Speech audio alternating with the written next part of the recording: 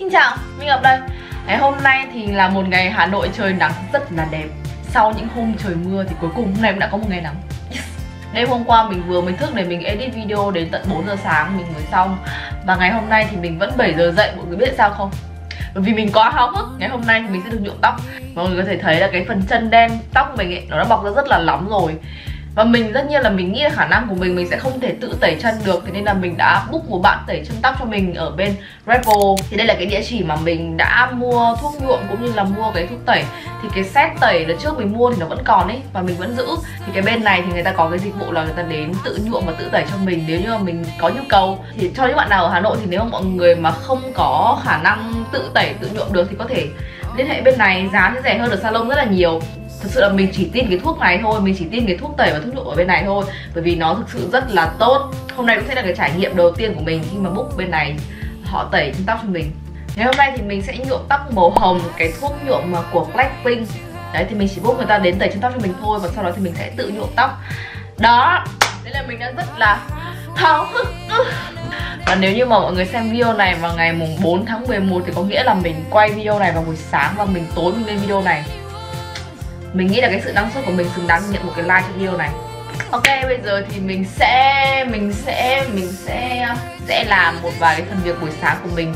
Mình vẫn phải edit nốt cái video tiktok để mình lên buổi trưa này. Viết script, viết kịch bản. Sorry.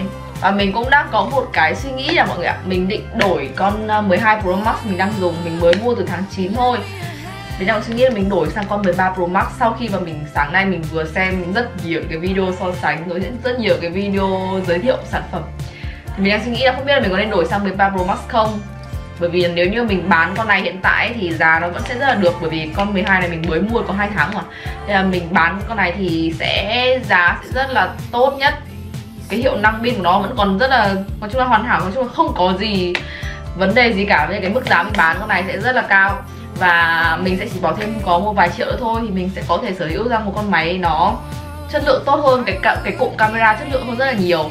Và thêm nữa, cái thời lượng pin rất là trâu, mình có xem và mình rất ấn tượng cái thời lượng pin ấy. Thế nên là mình đang rất là muốn đổi sang con 13 Pro Max. Đấy, nhưng mà có thể là sau khi mình nhuộm tóc xong thì mình sẽ đi đổi điện thoại. Ok. Làm việc thôi.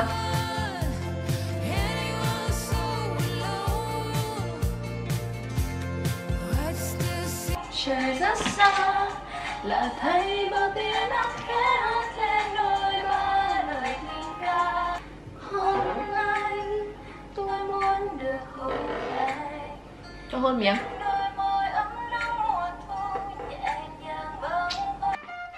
bài này hay quá đi.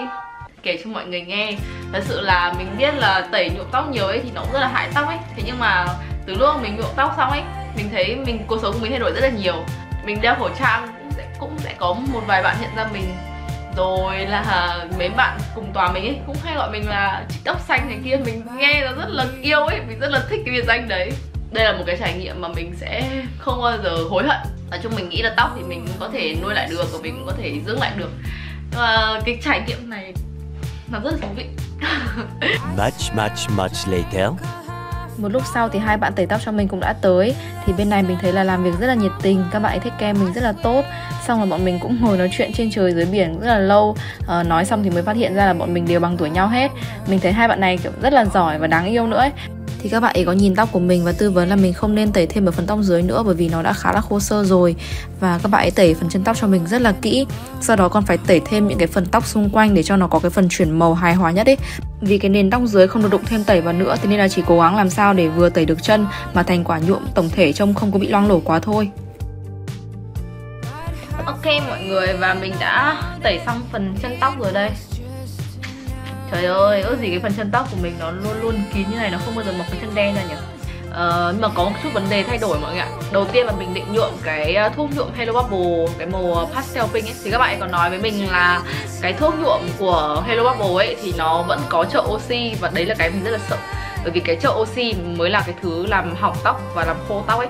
Đấy còn đâu những cái thuốc mà nhuộm màu kiểu Phủ màu vật lý như kiểu cái của các bạn các bạn bán ấy Thì nó sẽ không hại tóc thì mình có hơi lung lay một chút. Thế là mình mới hỏi bạn ấy là bên bạn ấy có thuốc nhuộm màu hồng, pastel nó không? Thì thật ra là bạn ấy bảo là với cái nền như mình ý, là cái nền xanh như này này, thì nó sẽ rất là khó lên được cái màu pastel. Thế xong rồi bạn ấy có recommend mình là nhuộm thử màu đỏ. Bây giờ bạn đã về rồi và tí nữa thì bạn ấy sẽ ship qua cho mình cái thuốc nhuộm màu đỏ của bạn ấy. Mình sẽ nhuộm tông đỏ bạn ạ ok, và thuốc nhuộm của mình đã về rồi. Mình nghĩ là mình sẽ pha vừa vừa xả thôi, thì ở đây là bạn ấy cũng mua rồi xả cho mình luôn rồi nói chung là nhuộm cái thuốc này ấy, thì nó sẽ không hại tóc nhưng mà nó sẽ có một cái vấn đề là nó sẽ rất là dễ bị dính dính ra những cái chỗ xung quanh nơi mà mình chạm vào. Cái thuốc này bạn ấy tư vấn cho mình ý, thì cái thuốc này là cái dòng này ấy, là cái dòng mà nó sẽ sẽ phai nhanh hơn. Vì cái nhu cầu của mình ấy thì mình không thích chơi một màu mãi ấy, thế nên là mình thích thay đổi thường xuyên. Thì bạn ấy ờ, recommend cho mình là dùng cái loại này ấy, thì nó sẽ bay uh, về cái tông hồng khá là nhanh.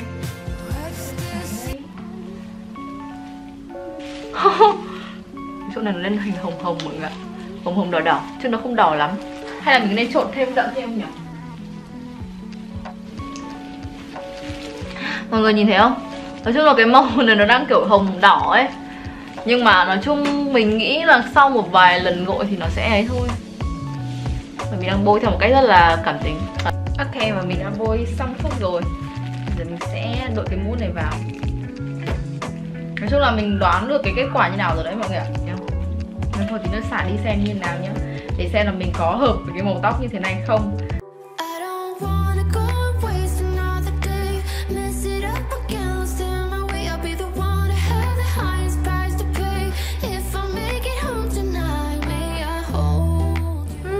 Mọi người có thấy sự ombre của cái tóc của mình không?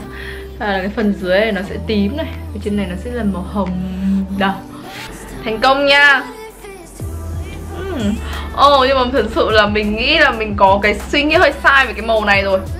Đầu tiên trước khi mình nhuộm mình, mình nghĩ là cái màu này nó rất là kén da Xong rồi nó rất là chóe, nó rất là thế này thế kia và nó phải make up ấy. Nhưng mà đây là mình đang để mặt kiểu Mình chỉ đang bôi kem chống nắng thôi, xong mình đánh một ít son thôi. Thế nó vẫn ok. Oh wow. Cái phần ombre này nó cũng khá là mượt nha. Hmm, Cảm thấy biết ơn là vì vậy đã tư vấn cho mình cái màu này. Và mình nghĩ là tương lai là nó phai ra thì cũng nó cũng sẽ đẹp luôn ấy. Ok, mình hy vọng là mọi người đã có thời gian vui vẻ để xem video này cùng với mình. Và nếu như mọi người cần thông tin về những cái sản phẩm hay cũng như là cái chỗ mà mình uh, liên hệ nhuộm tóc Thì mình sẽ để tất cả info ở bên dưới phần mô tả cho mọi người, mọi người nhớ check nha. Ok, video của mình đến đây là kết thúc rồi, mình cảm ơn mọi người đã theo dõi hết video này. Giờ thì bye bye!